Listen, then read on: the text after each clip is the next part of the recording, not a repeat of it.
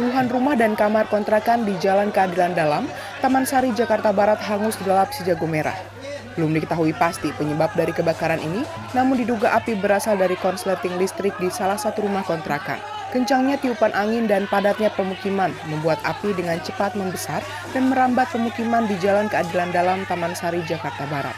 Warga sekitar berusaha memadamkan api dengan alat seadanya. Bahkan sejumlah warga hanya bisa menangis pasrah melihat rumahnya terbakar api. Belum diketahui penyebab pasti kebakaran tersebut, namun diduga api berasal dari konsleting listrik, kipas angin dari salah satu rumah kontrakan. Bang, ada rumah pribadi, ada kontrakan campur semua. Oh, campur semua. Iya, rata-rata. Ini banyak banyak gak rumah kontrakannya? Banyak pak, banyak, banyak kontrakan. Ada puluhan? Kotak Per petak ada, ada puluhan ada. Terus bang, ini bang katanya dari apaan sih bang infonya bang? Ini sih kronologisnya saya dapat berita sih dari katanya dari kontrakan, dari kamar paling ujung.